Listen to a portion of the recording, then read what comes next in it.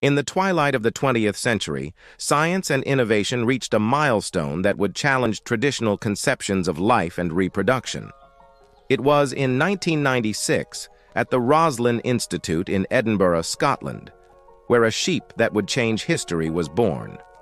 Dolly was no ordinary sheep. Her birth marked the first time a mammal was cloned from an adult cell, igniting ethical, philosophical, and scientific debates that would resonate in the decades to follow. Dolly's creation was a meticulous and revolutionary process.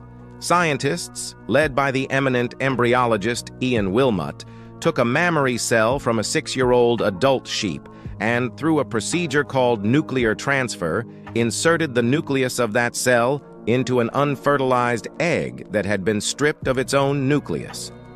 The result was a cloned embryo that was implanted in a surrogate mother sheep.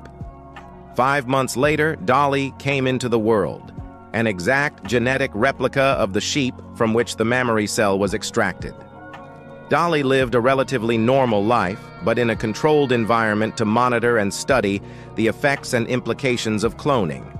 Although a successful cloning, Dolly experienced health problems related to arthritis and premature aging, these health issues triggered questions about the viability and ethics of cloning living organisms, questioning whether clones were destined for a life of compromised health. Dolly the sheep was not only a scientific breakthrough, she became a cultural icon, igniting global debates on the ethical and moral implications of cloning. While some saw Dolly as a promise for advances in regenerative medicine and assisted reproduction, Others expressed deep concerns about the ethical dilemmas, associated risks, and potential unintended consequences of creating genetically identical life. Though Dolly is no longer with us, her legacy lives on. She passed away in 2003, but the wave of innovation and debate she unleashed continues to shape the science and ethics of biotechnology. Dolly opened the door to fundamental questions about identity, individuality, and what it means, in essence, to create life.